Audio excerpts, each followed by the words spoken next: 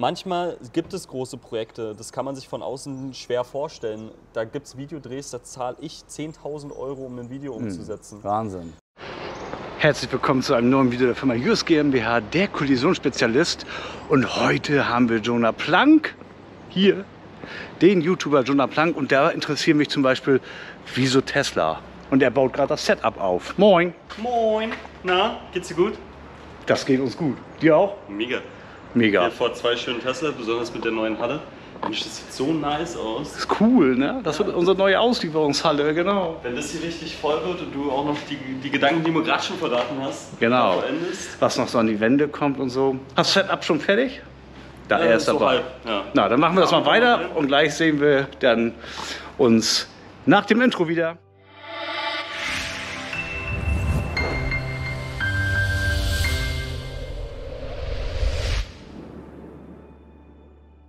So, moin. Moin. Schön, dass du da bist. Ich Ja, hier- mir mal gemütlich. Hier ist ja einmal Moin Moin und so, das kennst du wahrscheinlich noch. Ne?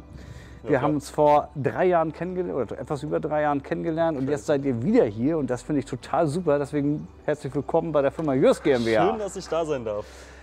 Ja, für die Zuschauer, die es nicht wissen, ähm, der Yannick, der mein damaliger Social Media Manager, hat die Idee gehabt, ähm, lass uns mal ein geiles Intro-Video, drehen. äh, Intro sei ich schon, äh, Tesla-Video, Imagefilm, ja. Imagefilm, also ein ganz kurzes Imagefilm. Wie lang war der? Ich glaube so zwei Minuten, anderthalb Minuten. Ja, war ziemlich, war ziemlich knackig. Ja, kurz, knackig, aber total emotional, mega gut gemacht. Und ja, und dann hat er gesagt, der Jonah Plank, der ist derjenige, der das machen soll. Und ja, zack, warst du anderthalb Monate später hier in Lübeck und wir haben zusammen gedreht. Genau, wir hatten da so einen kleinen Imagefilm für eure Werkstatt hier, Genau. beziehungsweise für den ganzen Hof gedreht. Und ähm, das war auch der Einstieg für mich, für mich in die Tesla-Welt, also in die richtige, also Tesla kannte ich schon, Ja. aber so, dass ich mir vorstellen konnte, über Tesla auch Videos zu machen tatsächlich. Cool, Deswegen ich freue ich ein mich auch so doll, dass wir hier sind und dass wir wieder zueinander getroffen haben, weil jetzt schließt sich der Kreis. Ja, schön, das finde ich super. Genau, und, das, und da wir jetzt an deinem Auto bei sind und auch an dem von Felix, habe ich mir gedacht, cool wäre ja auch mal einfach ein Video zu machen. Ähm, zum einen bist du ja schon in YouTube, äh, sag ich mal, aktiv gewesen über Technik und all sowas. Genau. Und jetzt drehst du auch viel über Tesla, wegen, auch wegen Technik und wegen Innovation und überhaupt, weil es einfach cool ist. Aber was mich mal interessiert, A, wie bist du zu YouTube gekommen und wie kam die Change sozusagen zum, zum, zum Tesla dann nachher? Sehr interessante Frage. Ähm, zu YouTube bin ich tatsächlich gekommen. Total, total anderer Bereich. Das Okay. wissen auch wirklich richtig wenige. Ich habe früher so ganz klassische Faktenvideos gemacht.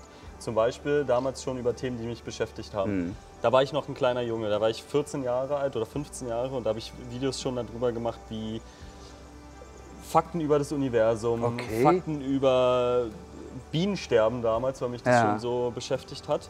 Und ähm, dann bin ich zum Filmmaking so ein bisschen gekommen, weil mich das interessiert hat, wie stellt man eine Kamera besser ein. Ich habe dann mit einem Greenscreen angefangen, hinter mir den aufzubauen, habe das dann ausgekiet ähm, und habe dann da verschiedenste Hintergründe hintergepackt, ob ein YouTube-Zeichen Okay. aussieht, als wäre ich in so einem YouTube-Studio oder sonst Ja. irgendwas. Und dann bin ich dazu gekommen, weil mich die Technik dahinter so interessiert hat, über das Filme machen bzw. YouTube-Videos drehen, YouTube-Videos zu machen. Okay. Und dann hat mich immer mehr die Technik interessiert und dann natürlich, man braucht eine Kamera. Was ist die beste Kamera im Einsteigerbereich? Was ist die beste Kamera im professionellen Bereich? So habe ich dann, oder die Videos habe ich dann darüber gemacht. Dann habe ich Felix kennengelernt und Felix meinte, open your mind, öffne deinen Horizont, mach über alles, was dich interessiert, Videos. Äh, gesagt, getan und jetzt bin ich irgendwie zu Tesla gekommen, weil es mich so emotional gepackt hat, als wir vor anderthalb Jahren zum Nordcup gefahren sind ähm, mit einem Diesel-SUV und einem Tesla Model 3, beziehungsweise es versucht haben, dass ich da entschlossen habe, ich tue alles, was irgendwie funktionieren könnte, um einen Model 3 zu ermöglichen. Und äh, jetzt bin ich hier Ja, und freue cool. mich wie ein kleines Kind. Ja, das finde ich ja super. Kla klasse Story. Ähm, dass ich auch so ein bisschen mit der Einstieg war, finde ich natürlich toll. Ähm, du hast dir dann das Model 3 gekauft und äh, hast gedacht, okay, ich mache auch darüber Videos. Gestern im Gespräch hat sich rauskristallisiert und das fand ich mich richtig gut, was du da gesagt hast. Das ist bei uns nämlich genauso. Ähm, du hast gesagt, klar, du lebst von YouTube, das heißt, du hast Werbepartner. Genau. Im, Im Gegenzug suchst du dir aber genau aus, mit wem du zusammenarbeitest, weil du machst nur Videos, wo du auch voll hinterstehst. Ja. Das heißt, äh, du, Du hast eine Verantwortung deiner Community, deinen Abonnenten gegenüber mhm. und ähm, die nimmst du wahr, indem du sagst, ich drehe nur Videos mit Werbepartnern, wo ich voll hinterstehe. Ja, das ist natürlich dieses ganze Werbung, Werbethema bei YouTube ist eigentlich immer so ein totales No-Go. Mhm. Ich verstehe nicht warum, wieso da nicht mehr Leute einfach so offen drüber kommunizieren, weil ich versuche das auch in meinen Videos so möglichst transparent äh, irgendwie, irgendwie darzustellen. Ja.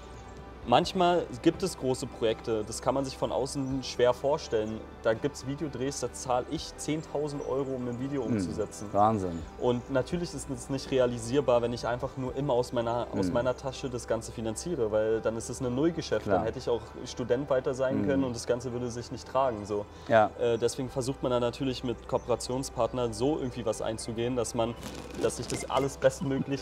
das kennt meine, das kennt meine. Ah, Uwe ruft an. Uwe, ja. Mensch, Uwe. Uwe, wir drehen gerade. Ich habe wieder vergessen, das Handy auszumachen. Kann ich dir gleich zurückrufen? Witzig. Sechseinhalb Stunden später. Also mit äh, Werbepartnern, dann ist es halt manchmal so, dass man natürlich sich darum kümmern muss, auch mhm. selber darum kümmern muss, dass sich die Videos tragen, äh, auch finanziell. Und ähm, da kann man sich natürlich Werbepartner, wenn man das Ganze schon ein bisschen länger macht, auch teilweise aussuchen. Mhm. So, man kann dann sagen, man möchte zum Beispiel für Handyhüllen lieber Werbung machen als für einen mhm. Deodorant ja. oder für irgendwie, Klar. keine Ahnung, einen aber das, es gibt auch YouTube-Kanäle, die machen wirklich über alles Werbung und da habe ich halt einfach keine Lust drauf, weil für mich ist es wichtig, dass wenn ich Werbung mache, es so eine Werbung ist, die ich auch einem Kumpel mhm. sagen würde, einem guten Freund von mir. So, guck mal, das ist, eine, das ist Juice Booster zum Beispiel. Mhm. Klasse Sache, sparst du 10% oder 5% über den Link. Oder irgendwelche Handyhüllen, 10% mhm. sparst du da. So, die Sachen braucht man sowieso, wenn man sich für die Themen interessiert, die, worüber ich Videos mache. Deswegen versuche ich da sehr transparent. Und man muss ja Geld verdienen, denn von Luft und Liebe kann keiner leben. Ja, ne? Und das ist eben euer Job, euer, äh, euer Daily Business. Und, ähm, aber so halten wir das hier auch. Also ich verkaufe auch nichts, wo ich nicht 100% hinterstehe die Keramikbeschichtung oder was, egal was wir machen. Äh, es gibt noch ganz viele andere Dinge, die könnte ich verkaufen. Stehe ich aber von der Qualität nicht hinter, fasse ich nicht an. Finde ich gut. Finde ich richtig stark. Ja, das, das merkt man äh, aber auch. Das ist wie so ein roter Faden hier über den, über den ganzen Hof. Ja, Wahnsinn, wie viele Teslas mittlerweile hier stehen. Ne? Ich weiß ja. nicht, wie wir diese Woche hier haben, aber 25 Prozent, 30 Prozent, 35 manchmal. Es ist wirklich Wahnsinn. Die kommen wirklich aus ganz Deutschland mittlerweile. Seht ihr hier auch, einer frisch Keramik versiegelt der andere gerade frisch verunfallt, der repariert werden muss. Wie lange dauert es, wenn so ein Auto hier so reinkommt, dass es dann wieder wie neu aussieht? Das kommt tatsächlich darauf an, welche Teile kaputt sind. Wenn wir alle Teile vorrätig hätten, für den eine Woche. Eine Woche? Ja, aber die Problematik ist äh, die Teileversorgung zurzeit. Mhm ähm, so wie mit allen Rohstoffen. Selbst Tesla hat eben auch Lieferprobleme. Also teilweise warten wir auf Teile bis zu drei, vier Wochen. Das heißt, wenn das Auto fahrbereit ist oder wir machen den wieder fahrbereit, dass der Kunde erstmal fahren kann und dann bestellen wir die Teile. Und wenn die Teile da sind, dann machen wir einen Termin und dann ist das Auto in der Regel clever. innerhalb von einer Woche wieder fahrbereit. Ne? Mhm. Aber es ist halt so, dass ähm, hier jetzt erstmal eine Schadensaufnahme gemacht wird. Dann wird geguckt, was ist kaputt. Und wie sind die? Nur der ist auch nicht mehr fahrbereit und den kriegen wir auch so schnell nicht fahrbereit. Also da müssen wir dann tatsächlich auf Teile warten. Ne? Okay. Genau, also das ist ja im Hintergrund seht ihr so eine kleine Baustelle noch, das ist unsere Auslieferungshalle, da sind wir auch gerade bei, aber wir haben uns gedacht, das ist noch für das Video, für das Interview eine ganz coole Location ja, hier. Mega cool. Das, ja. wird, das, wird richtig, das wird richtig stark. Also da, muss ich auch sagen, äh, nehme ich mir ein bisschen Inspiration vielleicht. Wir haben ja ähm, vor drei Jahren uns kennengelernt. Ja. Dann hast du, bist du angefangen äh, mit Tesla.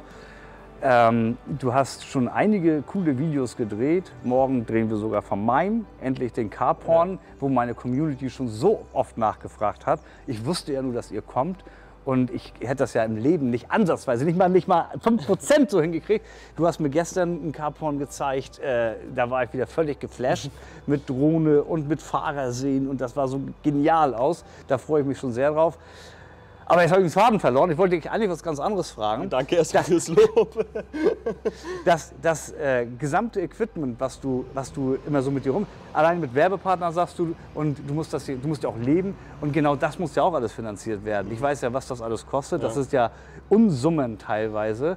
Ihr müsst euch weiterbilden mit Drohnenpilot und dies und das. Das ist ja auch unfassbar viel. Was ich bei dir aber auch immer wieder raushöre, ist, dass du ähm, einen, einen starken Nachhaltigkeitsgedanken hast auch. Ne? Ist das, also haben wir noch nie drüber gesprochen, aber den hast du, glaube ich, weil äh, wir haben gestern gegessen, da merkt man das. Wir haben, und wenn man, wenn man so redet, so denkst du schon über Ressourcen und sowas nach. Und deswegen passt das mit Tesla, glaube ich, auch sehr gut, ne? Ziemlich stark. Also bei allem, was ich so versuche anzufassen, versuche ich so einen Kreislauf zu haben. Ich Mhm. meine, es, es geht mal Geht nicht, nicht anders. Man, man ist mal bei, an der Autobahn und holt sich einen Kaffee mit einem To-Go-Becher und ich möchte auch gar nicht so, äh, ich bin hier, äh, weißt du, so Genau. das Greenwashing-Zeug, das finde ich alles nicht in Ordnung. Man muss da anpacken, wo es, wo es Unterschiede macht.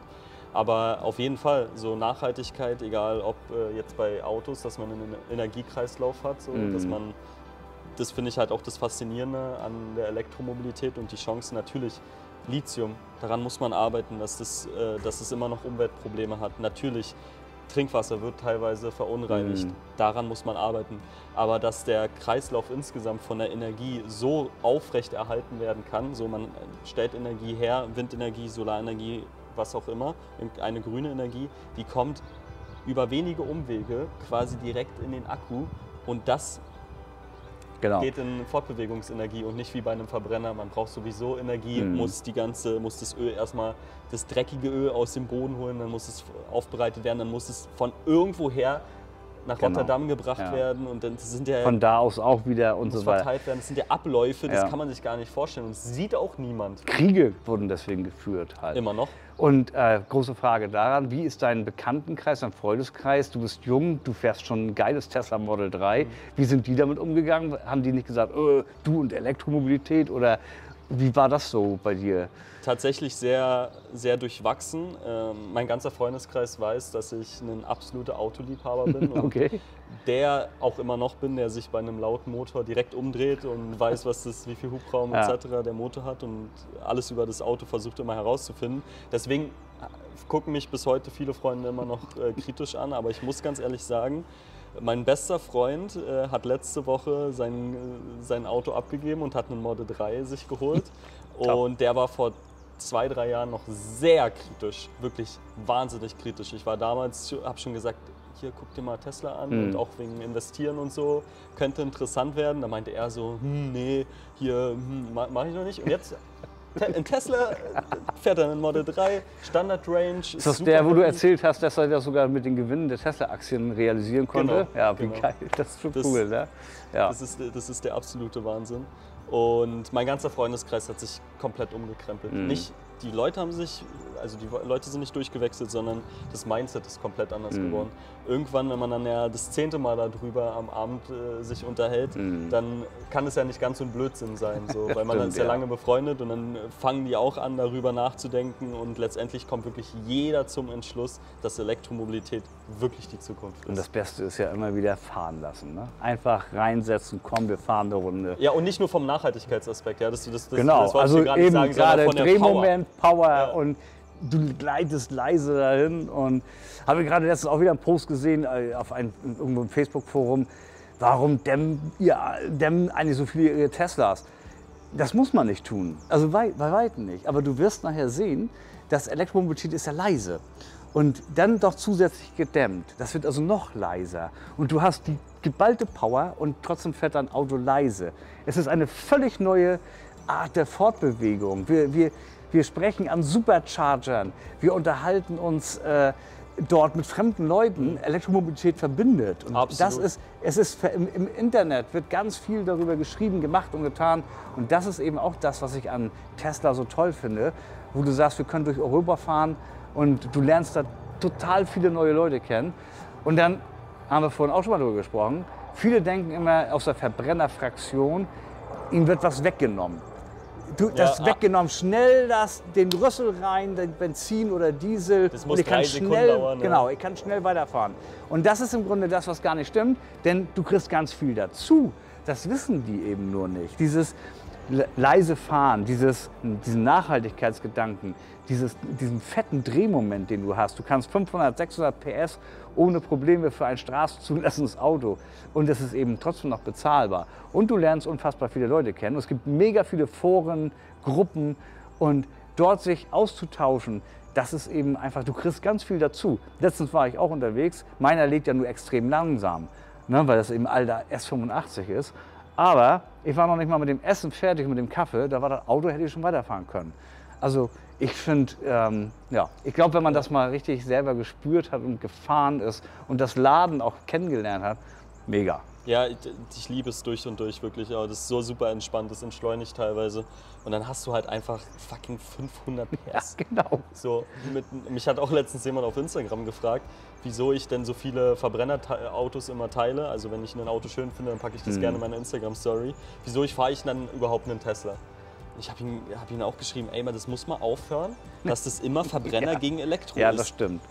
Beide was- haben ihre Berechtigung und müssen es auch. Wir haben ja auch noch hier eben 70 Prozent äh, Verbrenner. Ja, Davon es- leben wir. Ne? Ja, und es soll doch auch schöne Autos immer noch als Verbrenner Ja, geben. geben. Die, die sollen auch äh, nach 25 noch weiterfahren Eben. dürfen. Ähm, natürlich sollte man in die Richtung gehen und ich möchte auch, dass ab 25, ich finde es auch total klasse, dass viele Unternehmen da aussteigen. Aber besondere Autos können gerne mit einem Verbrenner äh, Genau. noch ausgestattet werden, weil das ist auch die Technik, die mich begeistert. Ja. So, Und jetzt gibt es ja dann die neuen Geschichten, so von wegen, Owe fängt es an, so ein 66er Mustang, stark, Sechszylinder, stark. raus, Technik raus und dann im Grunde genommen baut er da Elektro, Elektromotor. Wahnsinnig Äh, super. Es gibt so einen alten äh, Barcars, heißt der. Das ist ein Auto aus der DDR früher. Und äh, das ist so ein Lieferwagen. Ne? Mhm. Und ein Freund von mir liebäugelt jetzt damit, Zweizylinder, ne? oder drei, nee, Zweizylinder, genau. Und liebäugelt jetzt da eine Tesla-Technik einzubauen mit Akku und so. Ey, wie geil muss Kriegt man das? das Ich weiß es nicht. Ich habe auch, da habe ich ihn auch gefragt. Ich sage, meinst du, dass du das zu, ja, mit neuen Bremsen und komplett Achsen, alles neu? Er meint, das geht. Ich weiß es nicht. Ich bin gespannt. Ich bin, werde dieses Projekt äh, begleiten und wenn das da was draus wird, dann werdet ihr es als erstes erfahren. cool. Wär richtig geil, wenn man auch noch zum Zu äh, Supercharger fahren könnte. Ja, kannst du ja dann theoretisch. Das Ja. Auto hat ja eine Fahrgestellnummer. Wenn du ein komplettes Auto nimmst, das ist eigentlich eine gute Frage. Wenn du ein komplettes Auto nimmst und die ganze Technik auf ein anderes Auto baust, das merkt ja der Tesla nicht. Er soll dann aber auch Model 3 Performance nehmen und dann schön das, äh, das Display da Ja. reinpacken. Wie cool wäre das? Und wir haben uns über Tuning unterhalten. Wir machen ja auch ganz viel so mit Tuning-Sachen. Wir bauen, machen Facelift-Umbau und ich habe jetzt, wir machen Facelift-Umbau. Also Pre-Facelift Model S auf Facelift. Und jetzt kommt's, ich habe eine Stoßstange in Auftrag gegeben, Mhm. das Model S Facelift auf Plate umzubauen. Uh, das ist gibt das geil. erste Foto davon. Die Stoßstange ist, sie ist sehr komplex, äh, Mhm. weil die Nebelscheinwerfer passen nicht. Ähm, wir sind dann noch am Basteln. Ähm, ich glaube, vor den nächsten drei Monaten wird da nichts passieren. Aber ich fand die Idee mega. Gibt schon mal den jetzt, Anstoß. Genau. Cool. Und mal so, ein, so, ein, so eine Plate-Stoßstange fabrizieren, produzieren zu lassen. Und bei den Prototypen sind wir jetzt bei. Habt ihr noch vor, richtig was also in die Richtung zu machen? Weil Model 3 zum Beispiel, Breitbau und sowas könnte ja auch wahnsinnig interessant werden. Genau. Also Reifen machen wir tatsächlich schon in Zusammenarbeit mit Reifen Reber. Mhm. Dort haben wir Reifensätze, die werden wir euch auch demnächst vorstellen. Und wir haben schon darüber gesprochen, die Wände hier werden so ein bisschen dekoriert mit zum Beispiel äh, Carbon-Sachen. Also das alles, was wir anbieten, wollen wir hier so ein bisschen mit Bilder und auch Material darstellen. Also geht klar in die Richtung auch. Ja, auch. Cool. Wir wollen sehr breit aufgestellt sein in der Elektromobilität. Also nicht nur Keramikbeschichtung, Unfallinstandsetzung, Lackierung, sondern eben Veredelung, auch ja. Tuning, Veredelung und ähm, das soll schon passieren. Na? Cool. Jo, also, wir sind an deinem Auto jetzt weiter dabei. Schön, schön, dass du da bist. Ähm, schaut mal auf seinen Kanal vorbei. Schaut mal, ähm, wenn ihr den Jonah nicht kennt, aber ich glaube, ihr kennt den. Äh, schaut mal vorbei. Coole Videos Dankeschön. und so, seht zu. Bis dahin. Euch eine gute Zeit und was Abonnieren. sagen immer? Ja, wollte ich abonnieren, sagen. genau. Abonnieren und Daumen hoch, wenn euch das Video gefallen hat. Wenn euch das Video nicht gefallen hat, gerne auch in die Kommentare, was wir nächstes Mal besser machen sollen. Bleibt gesund, eine unfallfreie Fahrt. Ja, und wenn nicht, kennt ihr dann den Kollisionsspezialisten. Seht zu, bis dann. Ciao. Ciao.